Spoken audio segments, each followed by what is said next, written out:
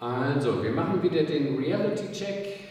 Zweite Kata des Seite Yaido Ushiro und schauen, ob diese Kata auch anwendbar ist.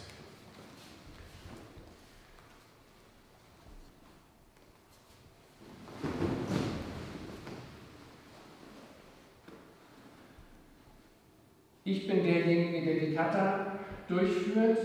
Ich merke, sie will mich umbringen oder angreifen, also mache ich meine Form.